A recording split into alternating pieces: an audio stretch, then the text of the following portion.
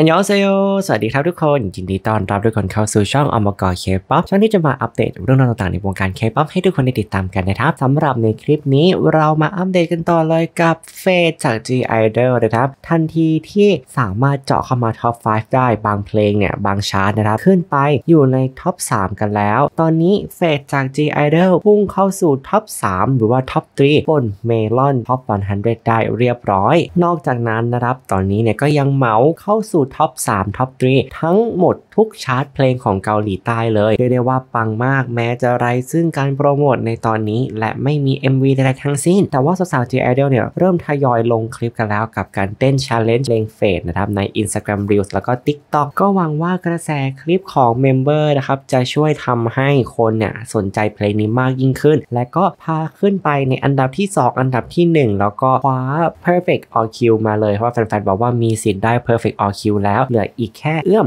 2 เอื้อมเท่านั้น ถ้าค่ายโปรโมทตอนนี้ยังทัน ทุกชาร์ตเพลงเกาหลีนะครับ ไม่ว่าจะเป็น Melon Bugs FLO Genie ตอนนี้ Fate เนี่ยเข้าสู่ Top 3กันได้หมดแล้ว แม้จะยังไม่โปรโมทแม้จะไม่มี MV แต่ว่าแฟนคลับเนี่ยก็นำเพลงนี้ไปทำ MV ให้เอาไปใส่กับอนิเมะญี่ปุ่นนะครับบอกเลยว่าเข้ากันดีมากแล้วก็แบบโหมันใช่สุดๆ อยากให้ทางค่ายทำ MV ออกมาสักทีจะทำเป็นเวอร์ชันการ์ตูนแบบนี้ โดยใช้ตัวละครแทนตัวสาวๆ G Idol ทุกคนเลยก็ได้ก็น่ารักไปอีกแบบนะครับ แต่ก็นั่นแหละรอดูว่าค่ายเนี่ยจะรู้เรื่องรู้ราวเมื่อไหร่สำหรับในคลิปนี้นะครับเราแวะมาอัปเดตเรื่องของน้องเฟดแล้วก็ G Idol ให้ทุกคนได้ติดตามกันเพียงเท่านี้ อย่าลืมฟังแล้วก็สตรีมกันเยอะๆ ไม่ว่าจะเป็นแพลตฟอร์ม streaming music ไหนก็ตามนะครับ แล้วก็เพลงอื่นๆของ G Idol ด้วย คลิปนี้ต้องขอตัวลาเพียงเท่านี้กลับมาเจอกันใหม่คลิปหน้าอย่าลืมกดไลค์กด subscribe ให้กันด้วยนะครับ안녕